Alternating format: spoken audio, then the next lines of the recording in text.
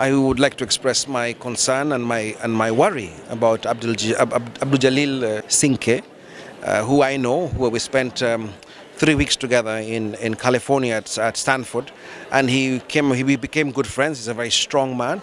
It's a shame that he's been arrested and, and held for the time he has been simply for exercising his rights and for and, and it's a great it's a crying shame. So he's in our in our thoughts, he's in our minds and whatever we can do to assist to add international pressure on Bahrain to have him released, we will do so. Um, it is really is a, is a, it's a great pity that, that somebody who, who is disabled um, can, can be made to suffer in the way he's been made to suffer. He's not, not got a, a, drop of violence in him. He's a man who believes in peaceful means. The fact that he disagrees with the government should not be enough for him to be jailed the way he's been jailed and to be treated the way he has been treated. It is a travesty of justice. It's a travesty of human rights.